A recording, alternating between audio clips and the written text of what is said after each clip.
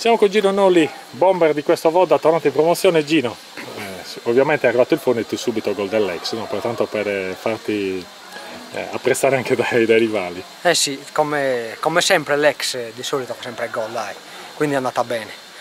Purtroppo potevamo andare meglio al secondo tempo, ma è la prima, dai. La ma, prima ma cosa è successo al secondo tempo? Eravate convinti di aver già vinto? Cosa è successo? No, probabilmente abbiamo un po' calato fisicamente, anche la preparazione è molto pesante, quindi ci Preparazione pesante, ma tu come Di Bala entri subito in forma. Paragoni, dai, paragononi. Adesso spiegaci quel tentativo di pallonetto che hai fatto, alcuni dicevano stavi crossando. No, eh, non, è, non siamo Zappacosta, dai, stavo calciando in porta. E, e non è ci... facile, tra l'altro, fare queste cose sulla terra battuta di Avod, insomma, a Forni le facevi, ma il campo era migliore. No?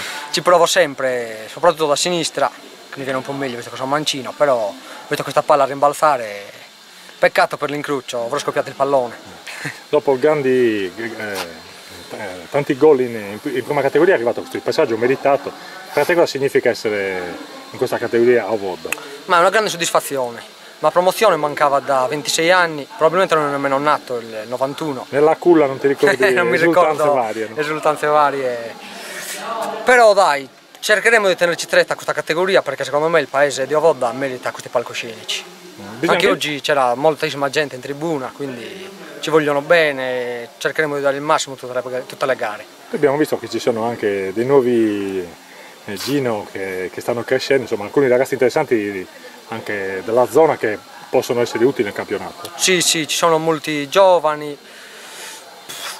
Questi fuoriquota aiutano a crescere. Mm. Abbiamo visto anche Langiu è fuori quota 98, Antonio Currelli 98, si sono, non sono più fuori quota, certo, certo. sono fuori quota ma non sono fuori quota. E si vede che giocano molto anche alla PlayStation, abbiamo, fatti, eh, abbiamo visto fare alcuni numeri molto belli. No? sì, sì, ce li hanno, quindi è giusto anche che li facciano al momento giusto. E, e, Il tuo obiettivo stagionale? Ma non mi pongo obiettivi, quel che viene prendiamo, sempre lavorando con sacrificio, l'obiettivo naturalmente è la salvezza di squadra, non si pensa singolarmente, poi... Mm se arrivano molti gol sono felice lo stesso. Certo. Però l'obiettivo primario è sicuramente la salvezza. Benissimo, noi ti ringraziamo Gino, grande, grandi complimenti per la partita di oggi, si è spenta la luce e noi ce ne andiamo a casa. Ciao! Ciao!